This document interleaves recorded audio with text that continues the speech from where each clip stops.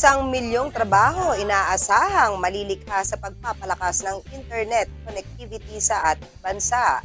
Inihayag ni Pangulong Ferdinand Marcos Jr. sa naganap na pulong kasama ang Private Sector Advisory Council Digital Sector Group ang pagsulong ng internet connectivity sa bansa at pagbibigay ng isang milyong digital jobs. Iprenesenta ng PISAC kay Pangulong Marcos ang kanilang inisyatiba upang paghusayin ang digital infrastructure at makalikha ng isang milyong digital job.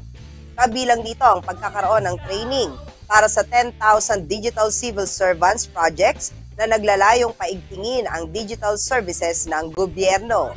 Ayon sa PISAC, sisimula ng proyekto sa pagsasanay ng 40 participants sa Singapore at sila rin ang magiging leader sa gagawing training dito sa Pilipinas. Samantala, nangako naman ang ating Pangulo nalilikha ng 1 million digital jobs sa taong 2028 na maaaring maging solusyon sa pangangailangan ng labor market ng bansa. Prioridad din umano ang pagpapalawig ng internet connectivity sa geographically isolated and disadvantaged areas at ang PISAC ang gagawa ng detalyadong plano para sa digital connectivity sa buong bansa.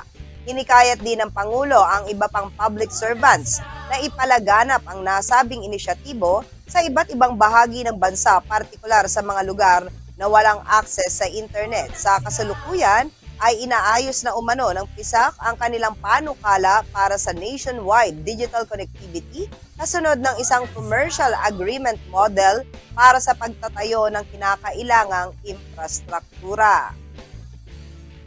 Yes, magandang balita yan ngayong Labor Day, Clarissa. At para rin naman sa mga nag-aaral ng ICT o Information Communication Technologies. Mm, kasi nga, ano, pagka-graduate nila, may inaasahan na silang magiging trabaho, mapapasukang trabaho, ano, Bishane? Mainam na tinututukan ngayon ng Administrasyong Marcos ang pagsulong ng teknolohiya kasi napapadali at napapagaan nga naman ang trabaho nating mga manggagawa. At sa komunikasyon naman din ay wala na talagang barrier o hadlang kahit po nasa malayo ka man o magkaiba ng oras ay naaabot at nakakausap din natin ang mga mahal natin sa buhay. Kaya kahit nasa bahay lang, pwede na rin magtrabaho dahil sa technology.